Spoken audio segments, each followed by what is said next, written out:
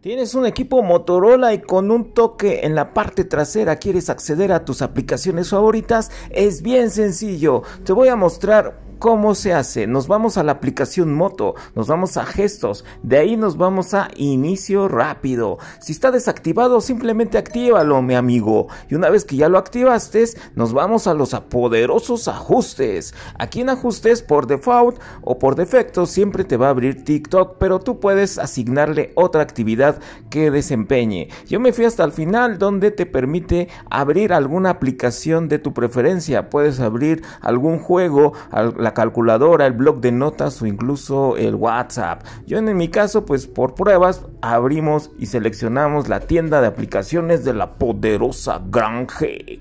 Y una vez que ya seleccionaste la aplicación que va a abrir cuando le des doble toque en la parte trasera de tu Motorola, cerramos, aplicamos ese efecto y esperamos y voilà amigo tenemos la tienda de las aplicaciones de la Granje. Así de fácil, de sencillo, sígueme.